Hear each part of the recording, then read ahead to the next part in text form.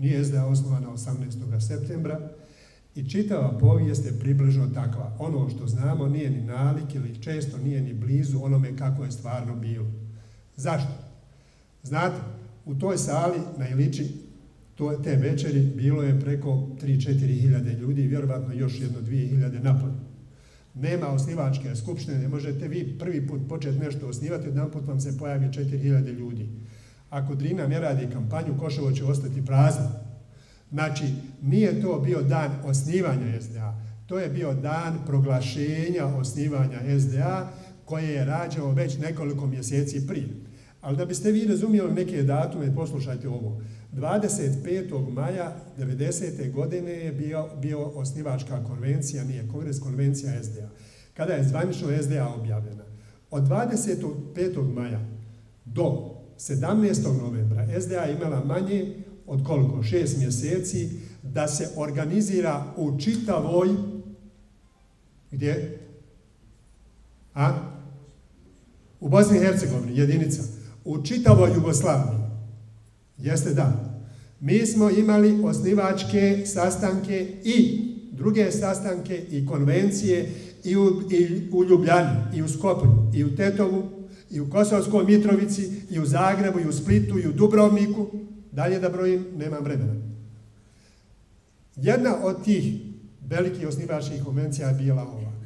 Ovaj, dakle, od tog 18. septembra imali smo svega dva mjeseca do izbora. Dva mjeseca.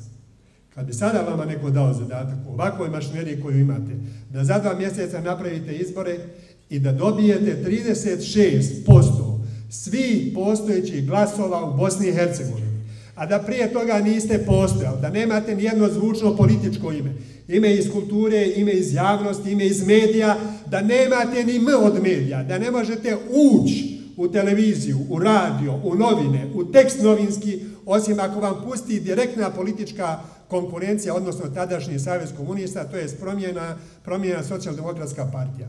S tim je počela SDA. Ali zašto je ovaj datum 18. značajan?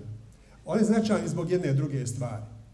Tog 18. septembra, to znači manje od četiri mjeseca od objavljivanja djelovanja SDA, dogodio se pravi SDA. Dogodili su se pravi bošnjaci i dogodila se prava politika. Šta to znači? Tog dana je gospodin Adil Zufikar Pašić objavio kao podpredsjednik SDA da izlazi iz SDA, da formira drugu partiju, da ta SDA ništa ne valja, da je ona izdajnička, da ona njega ne sluša, da ona ne radi kako treba, da ona nema jasnu viziju, da on nas može voditi u Evropu, u moderna, moderna rješenja u ekonomiji, u životu, u politici, društvu i tako dalje i tako dalje. To se dogodilo baš toga dana.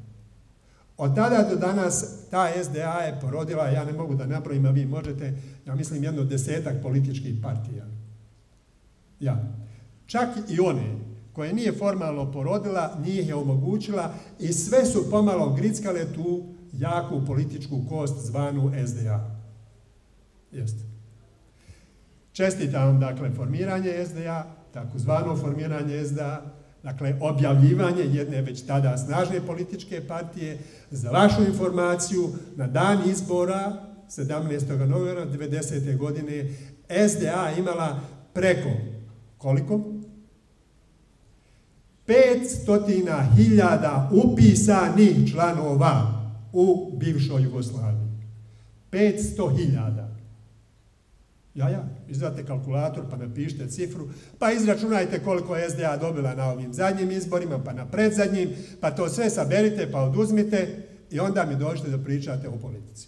E tako je to počelo. Po navodnicima počelo. Evo, toliko za te čestitke. A meni su rekli da bi ja trebao danas nešto govoriti kao da ja vama objasnim kako je bilo jako važno nešto razumijeti iz politike. Ja sam rekao da to ne umijem. Onda su ovi na telefon čudili kako to ja ne umijem. Ja sam rekao da ja to ne umijem. Jer ja nikako ne znam kako ja mogu objasniti vama da je jako važno da dišete. Da je važno da pijete vodu, da je važno da ručate i doručkujete, da je važno da imate prijevoz, da je važno da kad je zima budete toplo obučeni i tako dalje. To što dišete, Zove se zrak. Jest. I nije. Zove se politika. To što dišete zove se politika, to što jedete zove se politika, to što oko sebe gledate zove se politika. Kako? Pa fino. E, ovaj načelnik ovdje zasjede, tamo u pripremi neka, neka papir, on potpiše saglasnost da se izgradi zgrada i vi od jedan put više nemate pogled na park, jer su vam natakarili tamo visoku zgradu. E tako. Jel politika? Jes politika. To što dišete, Eno vidjeli ste, ovi preključe u Zenici podigle tužbu protiv proizvođača željeza u Zenici, treba ih ukinuti jer nisu natakarali tamo te filtere. A ovi hindusi kažu, ako stave filter, izgubiše 12 miliona, pa su dvije godine džaba radili u, u Zenici. E sad, ili nam treba čist drak, ili nam treba zapošljavanje? A? Da vidimo. Oba dvoje. E, solucije oba dvoje su kad spavate. Kad se probudite, morate se opredijeliti za jednu. Jel ne? I ovo je politika. E dakle, da ja gubim vrijeme, da ja vama pričam kako je politika neka važna tamo stvar, kako se njom treba baviti, kako bilo dobro ponešto o toj politici znati, kako ne bi bilo pametno da hodaš zemljom, a pogotovo da budeš mlad, da budeš inteligentan, da fino izgledaš, da se šminkaš, da se sređuješ, uljepšavaš, a da oni oko tebe se smiju zato što ne razumiješ kako tramba ide, zašto danas pada kiša, zašto nam završu vodu u septembru usred Sarajeva, mi pričamo da ćemo izvoziti vodu ne u kontejnerima, nego vozovima i brodovima, razumiješ, a onda usred Sarajeva dođu Arapi u, u augustu i ne mogu da kupe flašu pitke vode. Što? E, trgovci su napravili matematiku da će im treba 10.000 flaša, a pojavilo se 20.000 Arapa. Kako Arap ne vjeruje u nego samo u flašu, svaki Arap pograbio prvu šišku je našu u prodavnici, ostali smo svi bez šiša. Sreća da ne piju ono jači, inače bi ostali bez jačih šiša. I to je politika, jel Sve je oko nas politika. I ne možemo biti ni mladi, ni sposobni, ni okretni, ni aktivni, ni djelotvorni ako ne znamo šta je politika. Mislio sam, nema ko da sluša. Ima. Kako nema? Sluša moja duša. Kad bi bio onako, kako Huso Česim kaže, pametan, da malo govorim i da puno kažem, ja bi stao ovdje, ne bi išao dalje. Ali, e, znate, veliku poeziju niti pišu pojedinci, ni veliki pjesnici. Veliku poeziju pišu, pišu čiste duše u teškim trenucima. Ovo što je Dino napisao, to je doslovna, doslovna psihofotografija stanja nas pred formiranje SDA. Kad smo razmišljali o tome, nas nekoliko, mi smo mislili da nema šanse da ćemo dobiti sto ljudi da razumiju, da prihvate, da da mi pogađamo njihove ideje i da oni pristanu na ono što mi predlažemo ili da se složimo u nekim idejama. I onda kaže Dino, ima kako nema, čuje moja duša. Zašto? Sve su naše duše iste. Naše duše su došle iz jednog izvora, idu njemu i duše vole čistotu. Kad govorite čistotu, to funkcionira. A kad zamućeno i zagađeno pakujete u ne znam koju predizbornu kampanju, neće biti prodano. Budite sigurni. I to dobro zapamtite na početku ove vaše političke akademije. E sada, vele mi ovi stručnjaci koji me zvali na telefon, da ih ne imenujemo, sjede ovdje, trebalo bi da ja malo objasnim šta je to SDA uradila, kako je to ona napravila, koji su to rezultati SDA, Da vam pošteno kažem, ne znam, evo ovdje ima gospodin Asim, on sabira svaki dan šta su uradili kao SDA, pa nek vam on odgovara na ta pitanja. A ja imam jednu drugu ideju.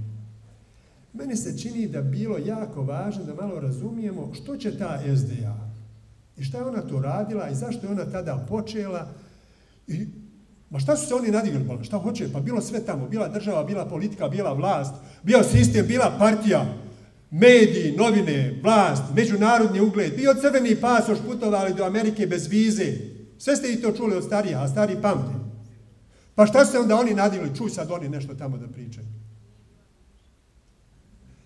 Dakle, Da bismo odgovorili na to pitanje, na to pitanje zašto je 90. godine pokrenuta SDA, neko je pokrenuo, zašto je uopće ona pokrenuta? SDA je pokrenuo, pokrenuo bošnjački, muslimanski narod i patrioti Bosne i Hercegovine. Svi oni. A što se neki pojavili u određenim likovima pa to umjeli napisati, a drugi još govoriti na mikrofon o tome, to je druga stvar. Pokrenulo je to, ta naša unutarnja, ima ona koja sluša duša. Da bismo razumjeli ovu priču, trebalo bi krenuti, što se tiče teritorije Bosne i Hercegovine, od onog trenutka kad se pojavljuje političko djelovanje, ovo takozvano moderno zapadno političko djelovanje. Znači, trebalo bi krenuti od toga vremena kad se pojavila ovdje Austro-Ugarska i kad je ta silna Austro-Ugarska ovdje otvorila prostor za novi način političkog djelovanja, to jeste zapadni. U tom periodu počele su se na prostoru Bosne i Hercegovine formirati političke organizacije, možda se tada nisu ni zvale baš partije, stranke, ali političke organizacije kojima su imale cilj da politički djeluju i sve su one bile vjersko-nacionalnog utemeljenja. I ako vam pričaju išta drugo, to je magla na veležu. U Bosni krajem 19. i početkom 20. stoljeća sve što je značilo išta bilo je doslovno ovako na vjersko-nacionalnom. Ne nacionalno-vjerskog, nego vjersko-nacionalnog. Tako su bile srpske, tako su bile hrvatske i tako su bile muslimanske kroz bošnjačke političke partije. Što se tiče Bošnjaka, Alebek Firtus i njegova ekipa su negdje početkom prvog desetljeća 19. stoljeća formirali političku partiju koja je djelovala do 914. godine, a onda je 18. formirana nova kraljevina. U toj novoj kraljevini u koju je Bosna i Hercegovina ušla, a da je niko nije pitao i da ni u čemu nije učestvovala u dogovorima, pregovorima i tako dalje, dakle, u toj novoj kraljevini, u njeznom nazivu kraljevna Srba, Hrvata i Slovenaca, nije bilo ni muslimana, ni bošnjaka, ni bosanaca, ni hercegovaca, ništa od toga nije bilo u nazivu, ali je zato bio kralj srpski. I tako je to išlo od kraja prvog do početka drugog svjetskog rata.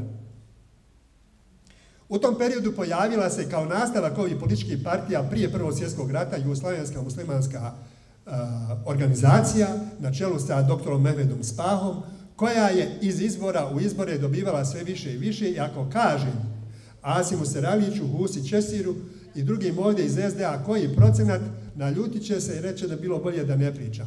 Procenat do, dobijeni bošnjačkih, muslimanskih glasova u Bosni i Hercegovini za JMO je bio od 92 do 96%. Svi živući koji su imali pravo glasa. E tako je izgledala ta politička partija. Kada ova politička akademija proizvede tu generaciju političara koji će imati ovoliki procenat, onda ćemo moći pričati o tome da smo bolji od onih prijašnjih. Ok? Dotle moramo trčati za njihovim rezultatima. Ono što je važno, jeste kako je iz izbora u izbora SDA, JMO eh, rasla, toliko je raslo pritisak na, na vrh, da bi na kraju 38. godine njezin osnivač, predsjednik, lider, vođa i tako dalje, dr. Mehmed Spaho, umro pod okolnostima trovanja, ubijen. Znači, to je jedno od poznatih političkih ubistava, ni prvo, ni posljednje, koje ćemo večera spomenuti.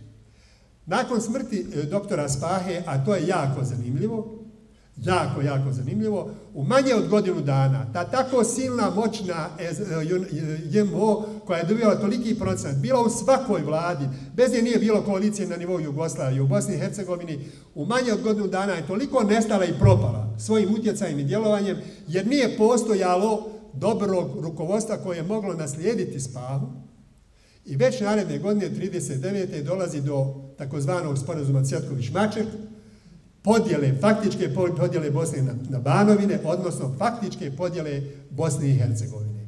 To stanje iz 39. faktičke podjele Bosne i Hercegovine. Muslimani, e, muslimani bošnjaci nemaju svoje pravo političko zastupanje, otvorilo je prostor kojim su, kojim su muslimani ušli u drugi svjetski rat i postali najobičnije na izrazu da se, da se ne ružimo skoro ovce za klanje. 45. godine kreće posljeratni period politike u Jugoslaviji, koja je teritorijalno skoro je identična prethodnoj, i na početku uh, Josip Broz vođa komunističke partije i takozvane radničke klase, da bi udovoljio standardima Zapada i uradio ono što njemu odgovara, napravio je sporazum takozvani sa uh, njegovim, hajmo reći, kolegom Šubašićem i išli su kao na zajedničke parlamentarne izbore. Ali naravno, mudri komunisti su izmislili nešto što nismo još ni mi razumijeli kako funkcionira, a zvalo se je šuplja kutija. Koliko god Šubašićevi ubacuju u tu kutiju, ništa u njoj nema. A ovi drugi, koliko god ubace, bude duplo. Tako da kad su se završili ti prvi takozvani demokratski izbori poslije 45. godine, komunisti su imali tako veliki broj mjesta u parlamentu da su u biti mogli u cijelosti formirati i vladu, napraviti ustavotvornu skupštinu i donijeti ustav.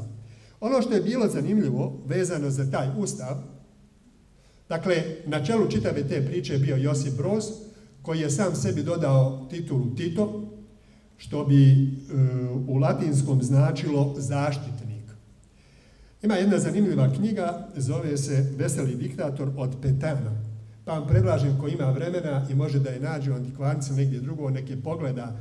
Knjiga je relativno mala, pa ćete uštediti 10 godina čitanja o Josipu Brozu i naći tamo u tih 130 stranica dovoljno toga da razumijete šta je tu bilo. Bilo kako bilo, taj Titus ili latinski zaštitnik, dakle Tito, Josip Broz Tito, je poslije tih izbora formirao vlast i uspostavio takozvanu vlast radničke klase, jednopartijski sistem, diktaturu, da se službeno zvalo, molim vas, da nemojte da službeno se zvalo vlast radničke klase i diktatura proletarijata.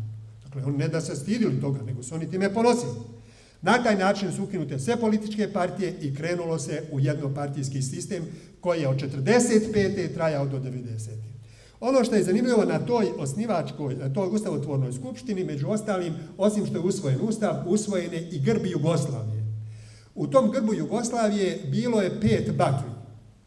A objašnjavali su da ti pet bakli predstavlja pet jugoslavenskih naroda.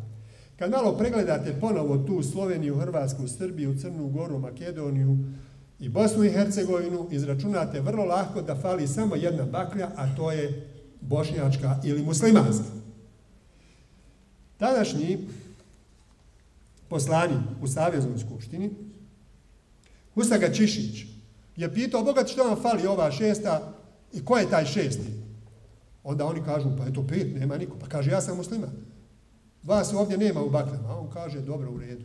Usaga Čišić je bio jedini koji je na Ustavotvornoj skupštini glasao protiv Ustava. Jedini. Usaga Čišić koji imao tri sina u partizanima od 41. do 45. koji je bio gradonačelnik Mostara u vrijeme rata. Usaga Čišić koji je bio česti čovjek, koji je bio musliman, praktični musliman, koji je bio intelektualac, koji je pisao političke rasprave, trebate ih pronaći i pročitati, on je bio jedini u jednoumlju koji je rekao ne. E to su vam, to su vam građani Bosne, to su bošnjaci i to su demokrate. I šta se je dogodilo? Odmah poslije toga, zadnjih dana rata, znači mi bi sad trebali malo da pogledamo šta se od te 45. do 90. godine dogodilo u Jugoslaviji, a što je dovelo do tog da se formira SDA ili taj narodni e, muslimanski ili bošnjački pokret.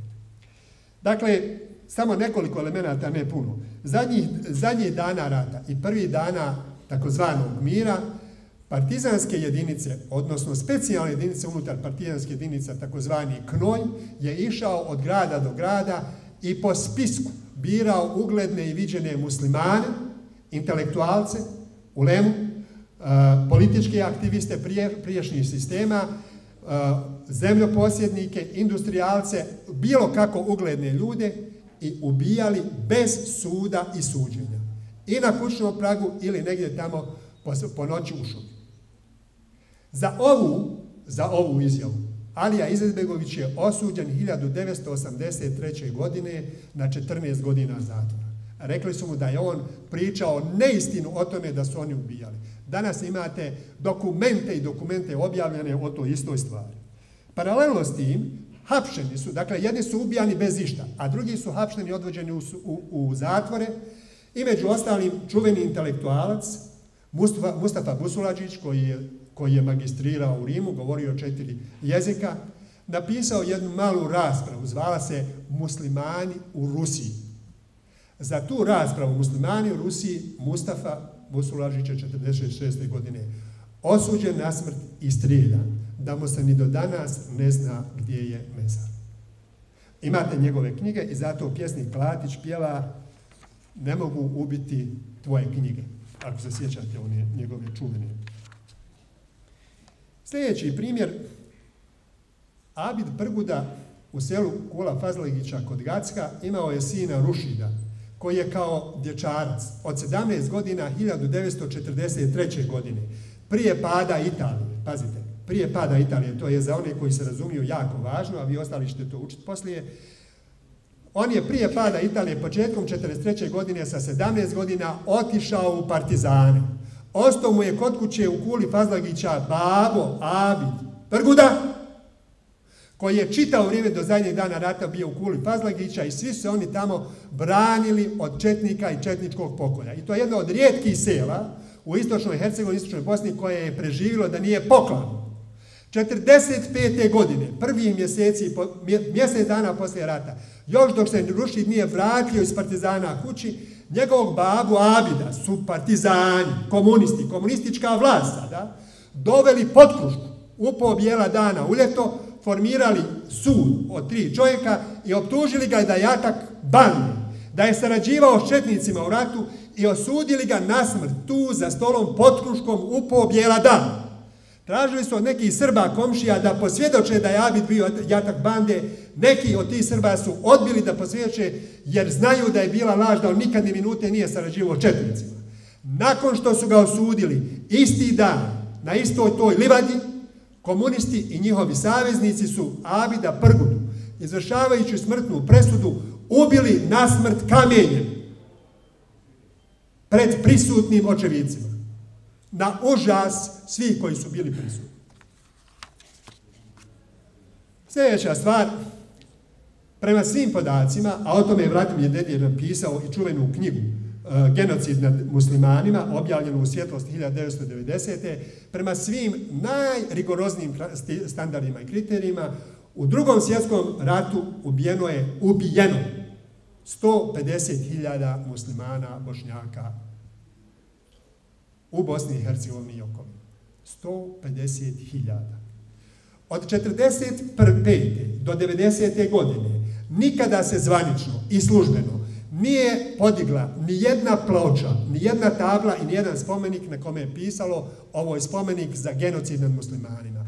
Nikada se službeno, ni privatno, nije smjelo govoriti o genocidu od muslimanima i nikada taj genocid zvanično ni jedne minute nije ni imenovan genocidom, ni zvanično priznat. Ni sudom, ni politikom, ni partijom, ni parlamentom, ni bilo kakvom službenom izjavom. Drugim riječima, muslimani i bošnjaci od 45. do 90. živili u državi u kojoj je moj dedu, istog mog imena, zato sam ja dobio njegovo ime, zaklan nože na kućnom pragu, a njegov babo sa, u 82. godini ubijen ispuške od četnika obojica nad posteći u svojoj kući. Nisu bili žrtve genocida. Njima se nešto dogodilo, ukliznuli se na bananu i ne znam kako, ali ni moj babo nije zapamtio, ni ja i nisam nikad vidio, eto tako se dogodilo. Ta frustracija koju su nosili bošnjaci je bila trajna. To je bila strašna nepravda. Ne može biti narodna vlast, ne može biti demokratska vlast, ne može biti sloboda. Ako ti nemaš pravo da kažeš da je tvoj otac, tvoj djed, tvoj, tvoj amiđa, tvoj komšija, tvoj prijatelj ili sugrađan ubijen nevin.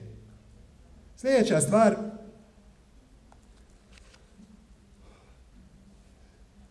Osamdeset treće godine, kad su me priveli u Sarajevu ovdje, u, u istragu u SDB, istražitelj mi je rekao da sam optužen među ostalim i zato što sam čitao tekst Put u Foču. Kažem ja, eto ti kaže da sam ja čitao, a deti mene reci Boga, gdje je taj tekst? Mogu li ja to sad biti, pošto nisam do sad da vidim. Ja mislim da je to malo šala, meni on izvadio iz latice. Izvadi, izvadi časopis. Pa, Bošnjaci, otvori godina ta, broj taj, datum taj i taj. Adil Zulfikar Pašić napisao tekst Put u Foču. Kao ilegalac partizanski i skojevski prije rata Zulfikar Pašić, kao učesnik partizana od 41. do 45. Kao sin jednog od najuglednijih ufoči, koji babu mu je bio gradonačelnik još u vrijeme Austrugarske i poslije, u kraljevini SHS, Adil Zulfikar Pašić je gledao kao visoki funkcioner partizanski. Vidio, ušao ufoču s partizanima i vidio stotine i hiljade poklani koji plivaju po drini, koji hodaju okolo. I napisao je o tome tekst. On mene 83. godine optužuje da sam ja čitao tekst o tome. I kaže ja njemu, slušaj ti, Oleninac, ti jesi udba, ja znam gdje sam. A da ja tebi kažem, ne treba meni Adil Zulfikar Pašić pisati o klanjima Ufoči. Moj je dedo zaklan. Moj je dedo zaklan. Ti čito, ti ne čito. Ti piso, ne piso. Zabranjivo, ne zabranjivo. Evo ja sam dobacio od ove godine i znam da mi je dedo zaklan i znam ko, ko je to uradio. Uradili četnici. I bilo bi vam pametnije da ste to na vrijeme objavili, jer nisu bili četnici vaši saveznici, niste to u tom času počinili vi, nego oni. Šta vam volim fali da to kažem? Onda, 48. kreće hapšenje, likvidacija i progon mladih muslimana. Preko 100.000 mladića, djevojaka, mahom, studenta, nevini, ni zašto krivih, osim što nisu prihvatili komunističku ideologiju, što su pomalo privatno klanjali, bili su pohapšeni. Među ostalim i dječak Omer Kovač, koji je išao u medresu i koga je njegov direktor, direktor medrese Gazi Husrebegu, Suleiman Kemura, zgrabio za vrat i kao dijete ovako u ruci odnio na ulicu, pozvao policiju i predao u udbi i rekao da je on mladi musliman. To su dijete doveli u udbu, on ništa nije priznao, stavili ga u podrum, gore na plafonu su vile čengele, visili, visili lanci, zavezali mu lijevu ruku i lijevu nogu, objesili ga i držali ga tako u, u hero da visi dva dana, dvije noći, tukli dijete od 17 godina da prizna. Ono jadno dijete nije znalo šta će priznati, ništa nije priznalo, nakon dva dana je umro.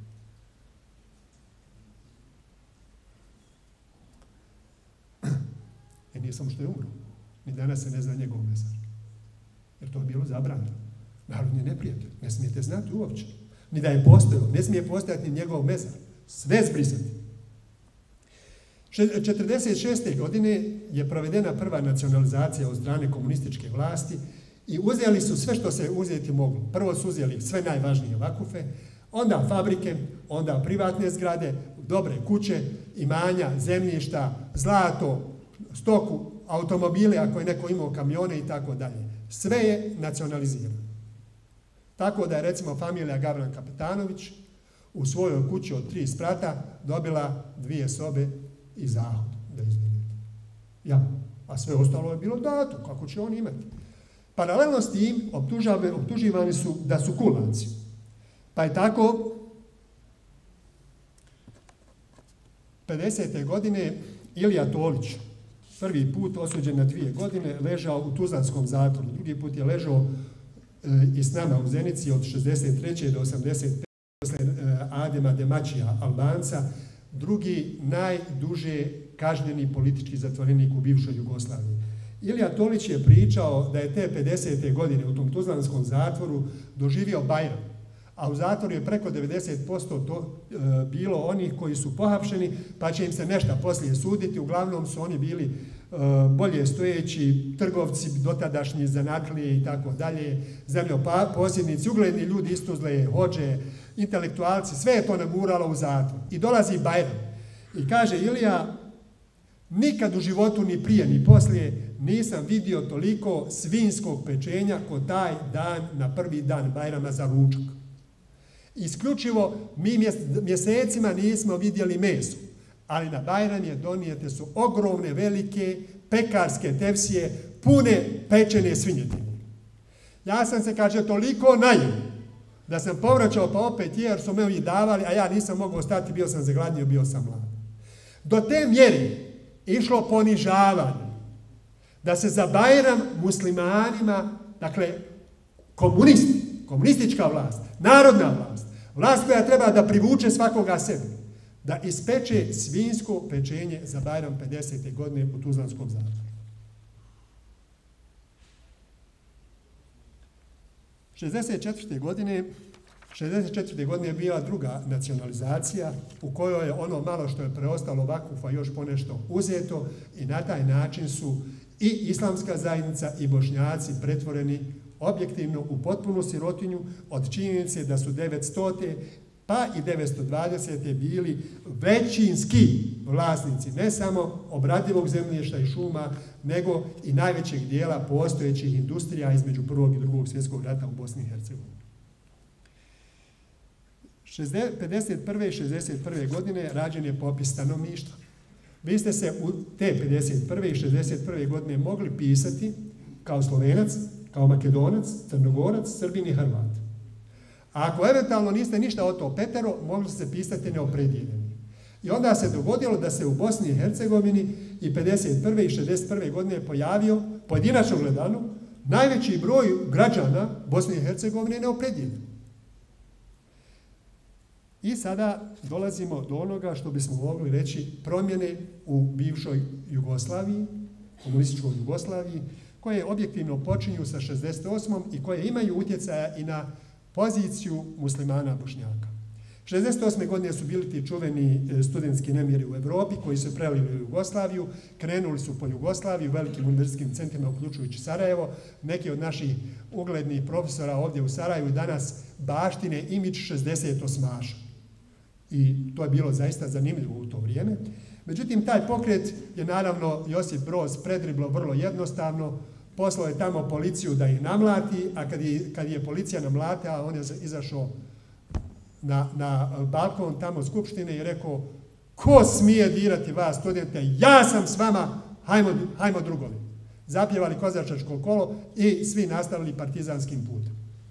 Međutim, 71. godine događa se veliki problem u Jugoslaviji, takozvani MASPOK, koji e, je u Zagrebu iniciran nezadovoljstvom, barem tako zvanično rečeno, nezadovoljstvom pozicije Hrvatske u podijeli privrednog kolača i, i prihoda u bivšoj Jugoslaviji, pa onda poslije dolazi pokret liberala od 72. godine, dakle srpski odgovor na maspok hrvatski i u stvari, u stvari 71. na 72. godinu Josip Broz i vrhovništvo komunističke partije, Saveza komunista i vlasti Jugoslavijanske svata da svi problemi koji su postojali od 20. do 40. srpsko-hrvatski odnosi i tako dalje, ponovo se vraćaju u novom pakovanju. Sada ne kroz druge političke partije, ne, nego kroz politička rukovodstva komunističkih partija u Srbiji i Hrvatskoj. To naravno e, postaje velika prijetnja i onda, onda vrh, odnosno direktno Josip Broz, neki kažu da je tu imao važnu ulogu i Kardelj, Edmar Kardelj, kao ideolog komunističke partije, kreću u sljedeće aktivnosti. Muslimani, sa velikom kao narod, bošnjaci ili tako dalje, do tada nisu postojali. 72. godine zvanično se objavljuje da u Jugoslaviji se otkrio još jedan narod koji do tada nije bio poznat. A on će se zvati muslimani. Kako imaju oni muslimani što idu u džamiju, a oni što idu u džamiju su mali, njih ćemo pisati sa malom, a imaju ovi muslimani što ne idu u džamiju, oni su veliki, njih ćemo pisati sa velikom M pa ćemo imati razliku između malo M kao vjerska pripadnost i veliko M kao nacionalna pripadnost. Bilo kako bilo, od tog časa se stvari mijenjaju i tada dolazi takozvani ključ. Po ključu sada muslimani moraju biti zastupljeni u svim nivoima vlasti, od općine do saveznog nivoa, što je bilo jako važno. Međutim, naravno, ključ se odnosi samo na komunista, na one koji to nisu, nema ključa, ostaće pred vratima. I onda dolazi najvažniji potez, najvažniji potez za budućnost koju mi danas baštinimo i koji moramo znati. Vi polaznici, polaznici ove akademije, ako bi vas ja ocenjivao, ne budete znali ti odgovor na ovo pitanje, da sve ostali do 99 znate dobili bi jedinicu. Taj najvažniji događaj su takozvane ustavne reforme iz 1974. godine u kojima Kardel definira ono što je Josip Broz Tito naredio da se uradi, a to je Republike Jugoslavije, svih šest, se proglašavaju republikama koje imaju izvorni suverenitet. One su izvorno suverene i one su se kao suverene udružile u Federaciju Jugoslaviju, koja dobiva sada izvedeni suverenitet preko njih. Najvažniji dio toga u Ustavu je bio sljedeći, da zbog tog izvornog suvereniteta svake republike, da svaka republika, polaka narod, ima pravo na samo opredjeljenje do odcijepljenja. Ova odredba Ustava SFRJ 74. godine je omogućila referendum 92. godine i omogućila da Bosna i Hercegovina bude danas međunarodno priznata država.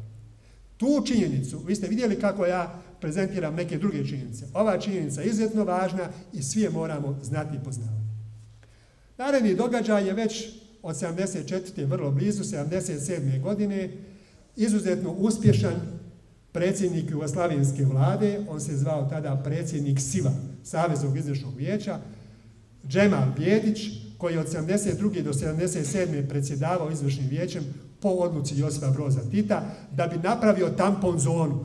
Josip Broz Tito je prvo lansirao te, te muslimane kao narod u Bosni i Hercegovini da razdvoji Srbe i Hrvate, Onda je lansirao suverenitete, uključujući suverenitet Bosne i Hercegovine, da bi razdvojio Srbiju i Hrvatsku, a onda je na kraju uradio još i sljedeći korak, uzeo, uzeo Džemala Bjedića iz Bosne i Hercegovine i stavio ga za predsjednika vlada Jugoslavije, koji je u tom, u tom periodu napravio, kako kažu, najveće privredno čudo.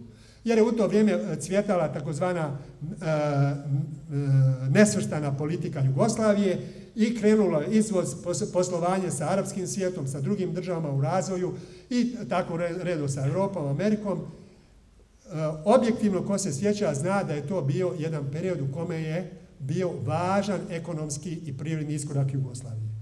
77. godine, 17. januara, sjećam se toga dobro, bio sam još u srednjoj školi, objavljena je vijest da je drug, drug Džemal Bjedić poginuo u saobraćovoj nesreći. Tada i narednih godina nije objavljeno da je njegovoj ženi, kad je ulazila u mali avion koji je letio na relaciji Beograd-Mostar, jedan general dao buket cvijeća da ponese džeci kad pođe u Mostar. I taj buket cvijeća je opalio, eksplodirao i eto tako ala. Džemal Bjedić i neki njegovi saradnici a jedan, jedan od njih ima danas sina koji je ambasador Bosne i Hercegovine, do sada bio u, tri, u dvije zemlje, sada će biti u Americi. 80. godine umire Josip Broz, zaštitnik ili Tito Jugoslavije i stvari se mijenjaju. Bez obzira na promjene ustavne u smislu da se mijenja da muslimani postaju narod, da se 81. pojavljuju na popisu i možete se sada pojaviti kao muslimani, bez obzira na to da se afirmiše njihova kultura i bez obzira na činjenicu da je u Srbiji postojala Matica Srpska i Srpska akademija nauka i umjetnosti, a da je u Zagrebu postojala Matica Hrvatska, U Bosni i Hercegovini od 72. do 90. nikad nije postojala ni Matica muslimanska, ni Akademija muslimanska i nikada se naš jezik u Jugoslaviji nije mogao zvanično zvati bosanski jezik. Mi smo čitavo vrijeme govorili i učili srpsko-hrvatski jezik. Pa onda se nismo mogli opredijeliti ili je to više srpski ili više hrvatski i nismo razumijeli šta smo mi u toj srpsko-hrvatskoj jezičnoj strukturi. Kad je Tito umro, komuniste ili vodstvo komunista je uvetla panika i među prvim žrtvama, naravno, ko će biti, bit će muslimani. Prije nego što je umro u toj godini zadnjoj, bio je, bila je e, čuvena afera nakon ubista Džemala Bjedića, afera Bugojno, u kojoj je Rahmetli Husein Efendija Džozo, dotada najugledniji muslimanski islamski intelektualac i Ali, bio optužen zbog nekog svog govora u Bugojnu, Optužbe nisu imale veze sa njegovim govorom, ali je Josip Broz doveden u Bugojno i on je u, u, tom, u toj posjeti Bugojnu Branku Mikoliću dao saglasnost da progoni i Džozu i te klero nacionalnosti. Od tog časa objavljen je lijet, e, lov na vještice i krenulo je hapšenje. Čim je umro Josip Broz, uhapšen je e, Muharem Asambegović u Goraždu, Husein Smajić u Zorniku i neki drugi osuđeni na po 5 do 7 godina robije, eto zato što nisu se slagali s komunizmom. Da bi vrhunac svega bilo suđenje 83. godine, takozvanim muslimanskim intelektualcima ili takozvani sarajevski proces, u kome je ključna optužnica bila da smo mi tada optuženi i osuđeni htjeli uspostaviti ni manje ni više usred Jugoslavije i usred Bosne i Hercegovine islamsku državu koristići etničko očišćenje, ubijanje onih koji nisu, koji su nemuslimani. A sad imate test jedan od 12 sekundi. Kako ćete napisati nemuslimani? Prošlo je 12 sekundi. Pisat ćete ovako, malo ne, crtica pa veliko m muslimani. Zašto? Ako napišete zajedno nemuslimani, piše ono malo m, pa se to odnosi samo na one vjernike. A pošto nisu oni glavni problem, nego su ovi nacionalno, nacionalno muslimani problem, da bi se to naglasilo, dakle, tuži, tužilaštvo je smislilo čak i novi pravopis. Pa su izmislili, izmislili riječ ne crtica veliko muslimani. E, mi smo ko biva htjeli etničkim čišćenjem i ubijanjem ovih nemuslimana ostvariti islamsku državu u Bosni i Hercegovini. I zato smo osuđeni na godine zatvora. U istom tom periodu suđen je i jedan zanimljiv student na Banjaločkom univerzitetu, studirao mladinac e, mašinstvo i e, Kemal Terzić. I znate, dobio je tri i pol godine zatvora. Dakle, osuđen je zato što je stalno upotrebljavao kaladonc zelene boje i što je stalno slušao Hanku Palmu. Vi mislite da se ja šalim? Sve piše u presudu. A on se nije šalio i on je jadnik odvalio teške tri godine robije u zemljici. Eno ga sad hoda, nosa bubreg u, u ruci i tako dalje. I sada dolazimo do kraja 85. na 6. godinu od, od tačno od početka Sarajevskog procesa pa nadalje ide velika igranka na nivou Jugoslavije. Toj Bosni i Hercegovini konačno dolazi vrijeme da zauzme mjesto u saveznim organima, tako se to zvalo, kako partijskim, tako i državnim. I bilo je predviđeno da neko iz Bosne i Hercegovine mora postati predsjednik CKSKU, Centralnog komiteta Saveza komunista Jugoslavije. Kako u tom času u Bosni od muslimana, znači sa velikom oni, uh, Hambija Pozderac imao tu ulogu, on je bio predviđen da bude predsjednik CKSKU. Međutim, Hamdija Pozderac je imao svog kolegu, druga, Branka Mikulića, koji je Vojislav Šešelj kao mlađahni doktoranta, poslije docent na političkim naukama u Sarajevu, zvao Sr. Bih, on je prevodio kao samostalna radnja Branka i Hamdije. Službeni naziv Socialistička republika Bosna i Hercegovina Šešelj je prevodio po Beogradski. Samostalna radnja Branka i Hamdije. Kad je došlo gusto i izvršen pritisak na obojcu, Branko se izmako i pustio da voda nosi Hamdiju.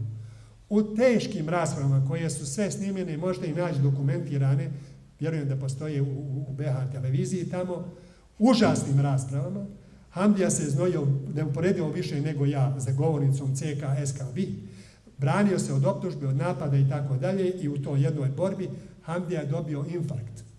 Tadašnji najviši funkcioner musliman, partijski funkcioner u Bosni i Hercegovini. Dobio je infarkt. Nijedna kola hitne pomoći, nijedna službena kola, došao je čovjek privatno, golfom, dvicom.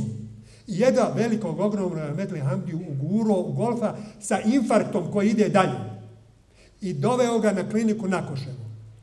Dva sata je Hamdija ležao na stolu da nijedan doktor nije prišao da mu dadne pomoć. I Hamdija je umro.